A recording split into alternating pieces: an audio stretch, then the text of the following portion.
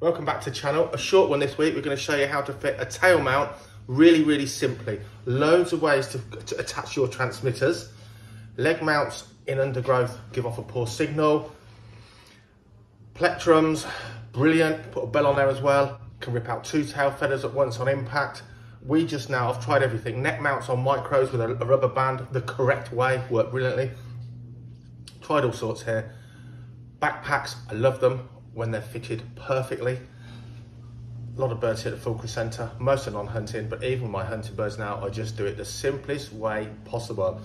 The downside is you can lose a deck feather if it catches on a, the top wire strand of a wire fence, or as the bird takes game hard into cover, it can catch uh, all that weight of one transmitter all being forced through one deck feather, it can pull free every way has its downfalls. I've gone back to the most basic way. So you need your stuff laid out ready. Some, something to wrap your bird up in, uh, a casting jacket or a dry towel, something padded, a cushion, anything, your old coat, anything for that bird to be resting on while you perform the operation. Plenty of stuff because you're working with araldite. This is what you're gonna need.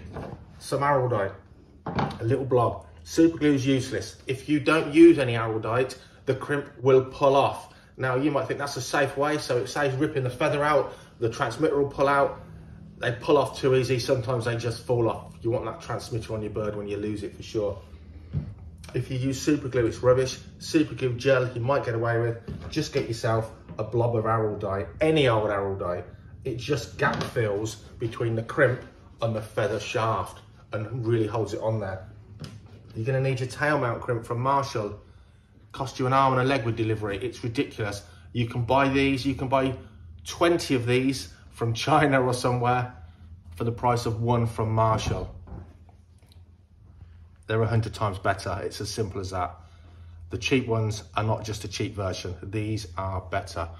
A little tiny tail crimp. There's no doubt about it. It has a way up. It has notches. I don't know if you can see that little notches. I can't see them. I'm not wearing my glasses.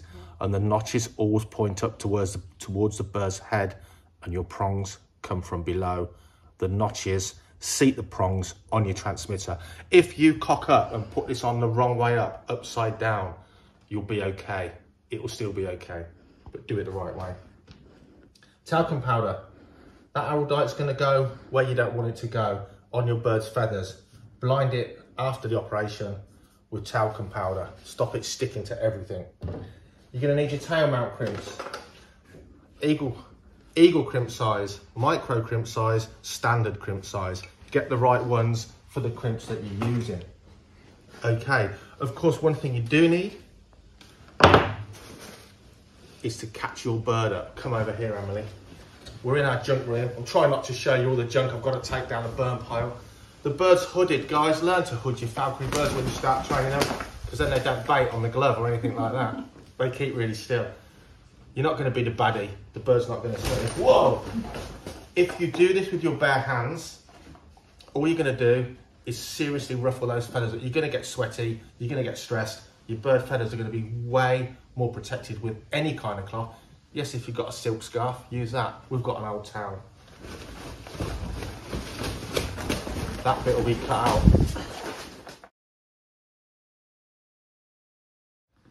Take 10. Secure the bird around the shoulders. Get your fingers around each side of its thighs, its legs. The bird's going to face away from whoever's operating. Emily's going to take charge of the towel. This is a Chilean blue eagle buzzard. Generally, eagles are less hassle than other birds like falcons. A bit higher, you got him? Yeah. You sure about that? Yeah, I've got him. We're going to be quick. We're not messing about with plectrums or anything like that. You want to go for the deck feather. So they've got 12 feathers. One, two, three, four, molting, five, six, seven, eight, nine, because um, he's molting away. We often put these crimps outside of the deck feathers, the side nearest your right hand as you try and hood the bird, if you like, because our birds are molting all through the summer. Your hunting bird isn't, but we are going to go for a deck feather in this case. There's your deck feather. Remember, this is just rough and ready, nice and simple, just showing you the very basic way, just to separate it out.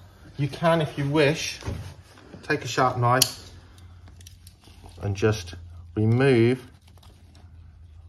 some of the webbing from the area of the shaft you're going to work with. If you don't do this, it will still work out fine, don't you worry.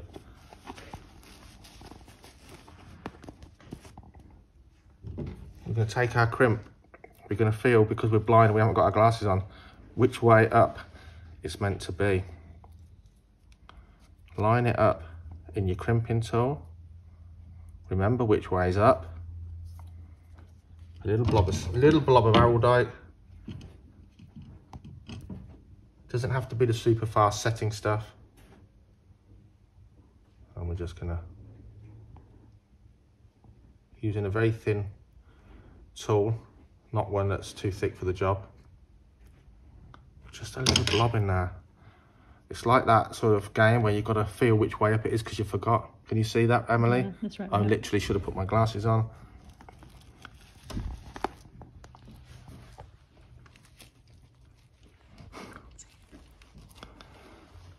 Okay, so over the shaft, can you see that?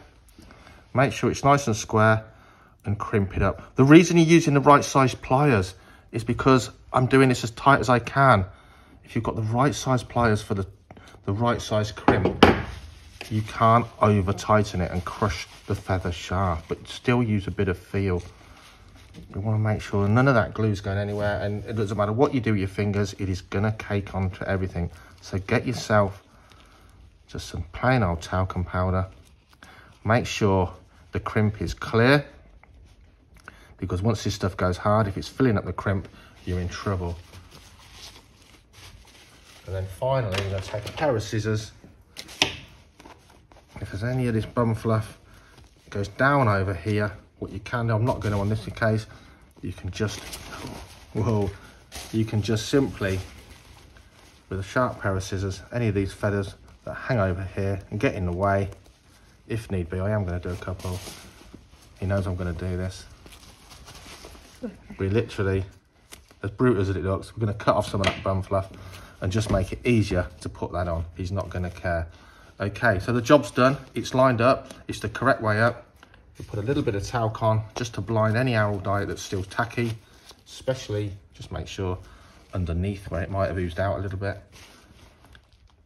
That can be used right away. Best to use it tomorrow, but that's all solid, ready to go. I'm gonna swap over the bird. Chilean Blue being a buzzard, he's putting up more of a fight than a true eagle, that's for sure. Eagles are the easiest birds to cast. Falcons are probably the worst for when it comes to feistiness. And of course, you've got to hold the bird firmly, but it's got to be able to breathe. Be ready for it to tense up, and you tense up if you have to. There we go. Space. So we're outside, plenty of space. We don't want those wingtips touching anything.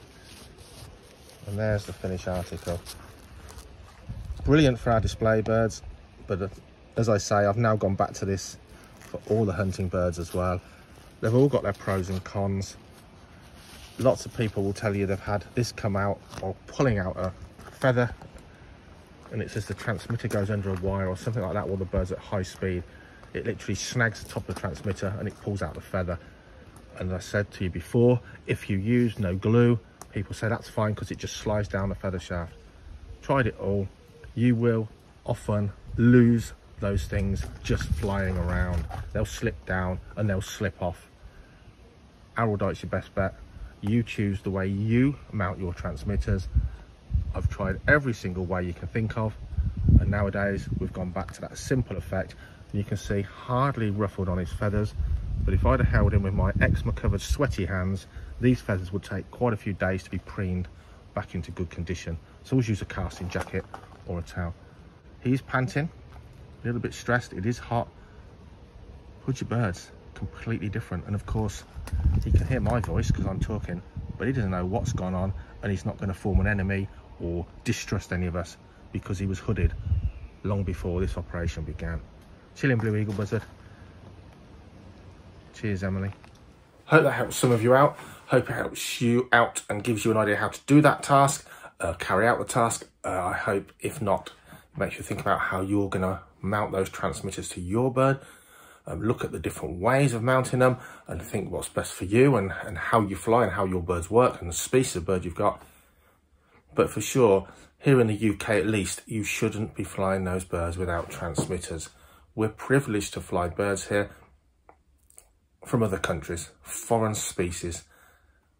Uh, a lot of people don't seem to realise that in other parts of the world, many parts of the world, you're not allowed as a falconer to fly non-native species because technically we do let our birds go free temporarily and other countries have banned the flying of non-native raptors so that non-native species don't have the chance to become invasive species. We're very lucky here in the UK.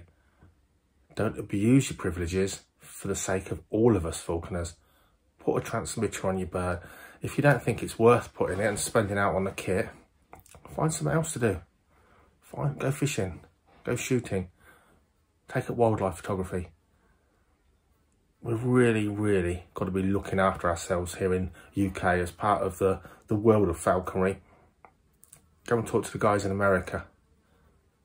Most of you and me probably wouldn't be falconers in America.